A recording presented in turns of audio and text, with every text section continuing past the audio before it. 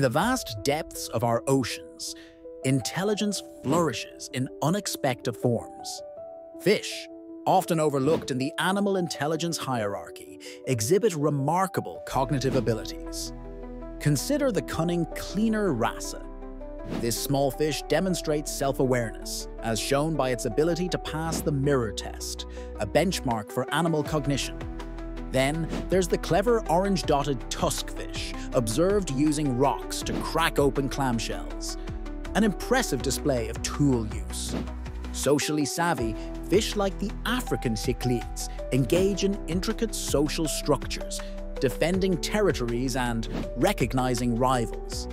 Even more astonishing is their memory. Some fish can remember complex mazes for months. These feats underscore fish as intelligent creatures, reshaping our understanding of cognition beneath the waves. As we explore further, the intellect of the ocean continues to amaze, reminding us of the rich complexity inhabiting the aquatic world.